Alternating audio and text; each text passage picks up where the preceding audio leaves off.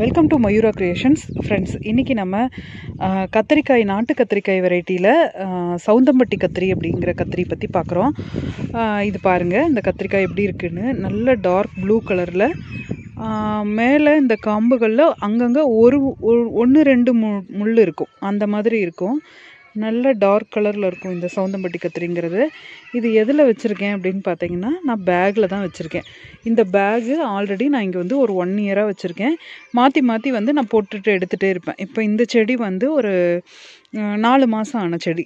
அதுக்கு முன்னால் நான் வந்து வெண்டை போட்டிருந்தேன் தக்காளி போட்டிருந்தேன். அது மாதிரி ஒவ்வொரு ஈல்டும் ஒவ்வொரு தடவை மாற்றி மாற்றி நம்ம போட்டு எடுத்துகிட்டே இருப்போம்.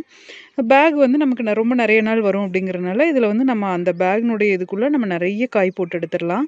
இதில் வந்து அப்பப்போ ஒன்று ரெண்டு காய்கள் வைக்கும்போது நான் வந்து சமையலை கட் பண்ணிட்டேன். இப்போ வந்து நல்ல நிறைய காய்கள் பிடிச்சிருக்கிறதுனால எப்படி இருக்கும் அப்படிங்கிறது உங்களுக்கு நான் அந்த வீடியோவில் போடுறேன்.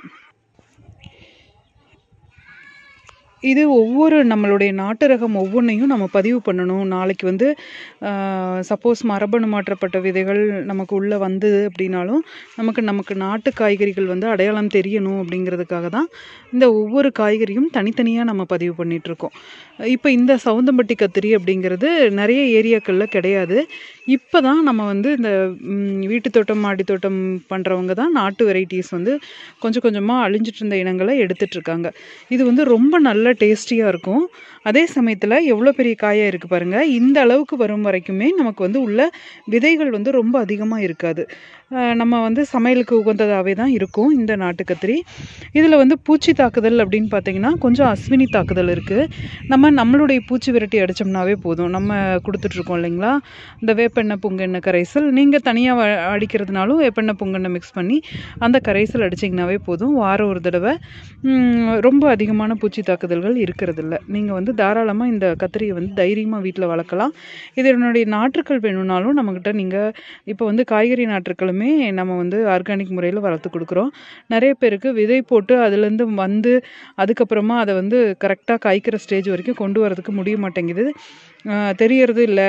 விதைகள் வந்து மழையில் வச்சிடணும். நிறைய பிரச்சனை ஆயிடுதுங்கிறாங்க அதனால் இப்போ காய்கறி நாற்றுக்களும் எது எது நல்லா வரும் வருமோ நாற்று போட்டு கொடுத்தா அது மட்டுமே நம்ம வந்து உற்பத்தி பண்ணுறோம் இந்த காய்க இந்த சவுந்தம்பட்டி நாற்றும் நம்மக்கிட்ட இப்போ கிடைக்கும்.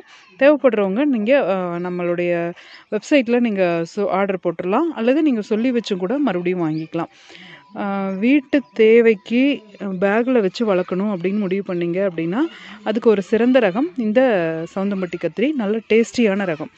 ஒரு செடி இருந்தாலே போதுங்க. வாரம் ஒரு அரை கிலோ அளவுக்கு பறிக்கலாம். சரியான முறையில் ஃபர்டிலைசர் மட்டும் நீங்கள் கொடுத்தீங்கன்னா போதும். அப்பப்போ பூச்சி இருக்குதா அப்படிங்கிறத கொஞ்சம் கண்காணிச்சுக்கணும். பழைய இலைகளை அகற்றிட்டிங்கன்னா பூச்சி தாக்குதல் ரொம்ப குறைவாக இருக்கும்.